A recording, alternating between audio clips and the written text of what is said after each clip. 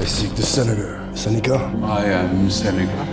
I come to tell you, sir, that President Nero has decided that you are to be executed. He's gonna let you take your own life. This is a very respected man. You all know who this is. Seneca! I am Seneca. Now, he believes that mercy beats strength. As of today, we will not speak of these bad ideas. Had I left the president's employ as scholar in residence, Nero would have been a worse princess. he owes me for any part of himself that resembles a man. Aim for virtue, happiness will follow. Be quiet! Does anyone ever demand that you just be quiet for once?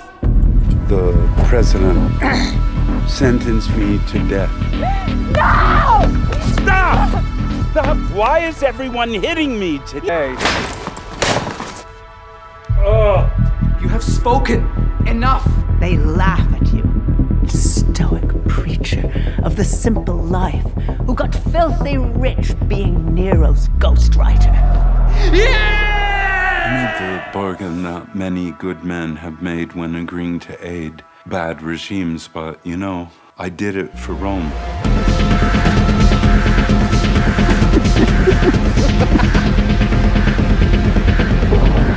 no!